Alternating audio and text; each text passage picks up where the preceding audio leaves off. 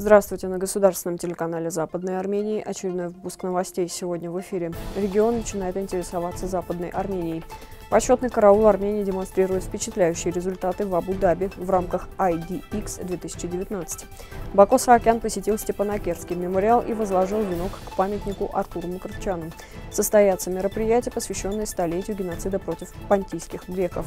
США заявили об условиях прекращения поддержки сирийской оппозиции. Сирийские демократические силы освободили последний оплот боевиков ИГИЛ в Сирии. В церкви святого Иоанна в селе Ток ведутся ремонтные работы. 19 января 2019 года премьер-министр Западной Армении Гарник Саркисян, представляя программу работы, предусмотренную на ближайшие пять лет, перед вновь избранным Национальным собранием Западной Армении заявил, что в течение следующих шести месяцев Западная Армения должна войти в политическую повестку Дня региона. СМИ региона должны интересоваться вопросами Западной Армении и освещать ее политическую значимость в свете местных событий. На самом деле, через месяц после заседания Национального собрания Республики Западная Армения на государственном радио Сирии 7 7 февраля депутат Западной Армении Басам Тахан в первый раз публично заявил о важности двусторонних отношений между Сирией и Западной Арменией. Сотрудник радиостанции счел, что распад Турции и становление Западной Армении, по-видимому, был бы полезным для всех сторон в регионе, отметил он. Второй шаг обещания состоится 16 февраля 2019 года, когда египетский президент господин Абдул Фатах Сиси вспомнил о геноциде против армянского народа во время своего выступления на конференции по безопасности, созванной в городе Мюнхен. Президент Сиси заявил, географическое положение Египта ставит его в прямой связи со всеми событиями в регионе. Через несколько часов после этой речи президента Сиси информационное агентство «Эльм Ватин» связался с премьер-министром Западной Армении Гарником Саркисяном, взяло содержательное интервью, в ходе которого был обсужден ряд вопросов, представляющих взаимный интерес в Западной Армении и Египте. Также сообщим, что в тот же день правительство Республики Западной Армении приветствовало речь президента Египта. Почетный караул Республики Армения выступил с впечатляющим номером в Абу-Даби в рамках выставки IDX 2019, в которой также принял участие министр обороны Республики Армения Давид Тоноян.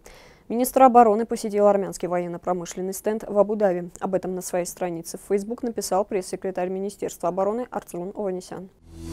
18 февраля в рамках мероприятий, посвященных 60-летию со дня рождения первого председателя Верховного Совета НКР Артура Мкрчана, президент Республики Арцах Бако Саакян посетил мемориальный комплекс города Степанакерта и возложил венок к его могиле, сообщает пресс-служба президента Арцаха. Бако Саакян назвал достойным подражания патриотизм, преданность и скромность Артура Макарчана, добавив, что славная память о нем навсегда останется в сердцах арцахцев.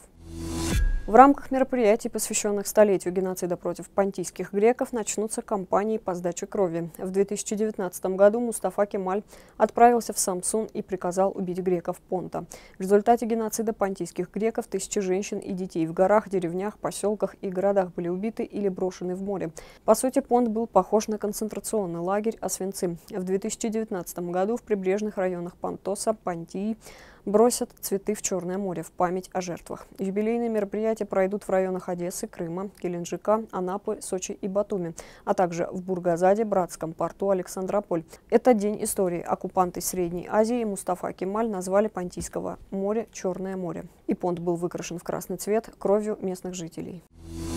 Американская сторона прекратит поддерживать силы вооруженной сирийской оппозиции демократические силы Сирии ДСС, Союза курдских и арабских группировок, если они будут сотрудничать с президентом Сирии Башаром Асадом или Россией. Об этом заявил генерал-лейтенант Пол Лакамер, сообщает Reuters.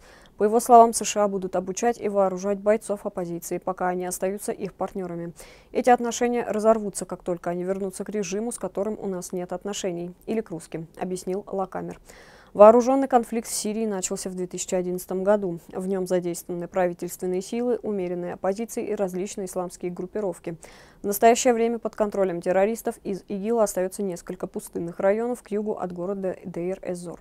Оппозиционные силы контролируют два зачищенных от террористов района. Один на границе с на юго-востоке Сирии и второй на северо-западе в провинции Идлиб.